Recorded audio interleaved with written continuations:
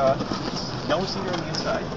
It's sprung over forms, so most of the strength is coming from the structure.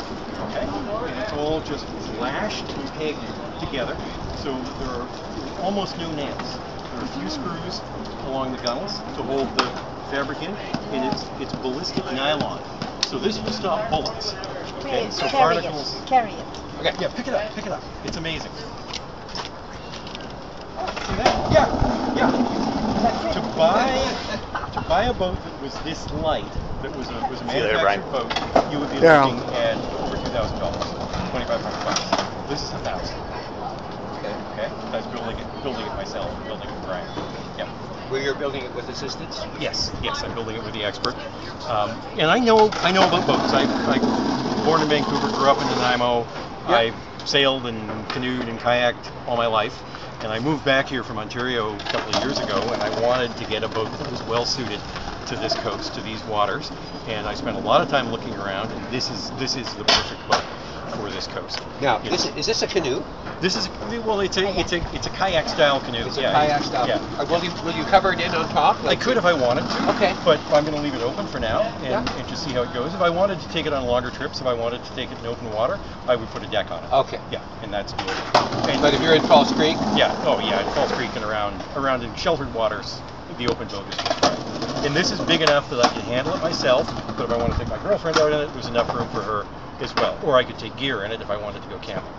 Okay. And it's just it's and it's amazingly simple in terms of construction. and of course you want to throw it on, on your on your vehicle. Yeah, piece of cake. And I've had canoes that have been not much bigger than this that are 80 pounds.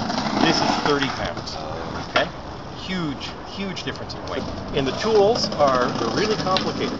There's a handsaw, a drill, a hammer, and I think that's it. Okay? So y- it, you know you're not talking about something, and it's a beautiful mix. It's, yeah, these are all. This is this is synthetic sinew lashing, and it's red cedar lashed on on yellow cedar. The the stringers and ribs are yellow cedar, and again the the, the structure gives it right. The wood is bent into natural curves, How so not only does it look beautiful, but it but it's really strong. How long will it take How you to many hours? finish? Uh, hours? How many hours? Well, we've been slow about it, uh, but it's probably 30 hours in that range. Yeah, Okay. yeah. And I've learned a bunch of new skills. I've never built anything with lashing before. Okay, I'm a hammer and nails guy, so so that was quite novel.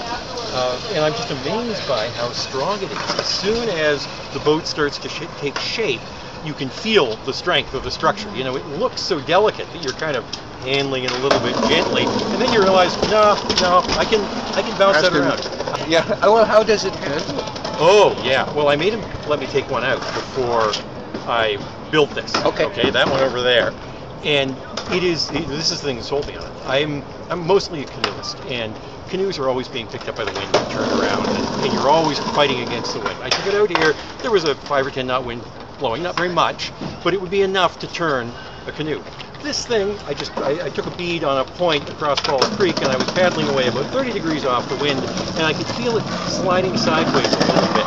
But there was no weather weathercocking, there was no turning. I didn't have to fight the wind at all, and it just slides through the water, right? Because the again the curve of the wood, trees are are designed to bend in ways that minimize fluid forces, right? Otherwise they fall over. So when you, when you have a natural curve from the wood, it glides through the water extremely easily. It's hydrodynamically very very efficient. I'm a I'm a physicist and engineer in my in my ordinary life. So so these are things I think about. And and these boats just they just glide through the water. They're so easy to move.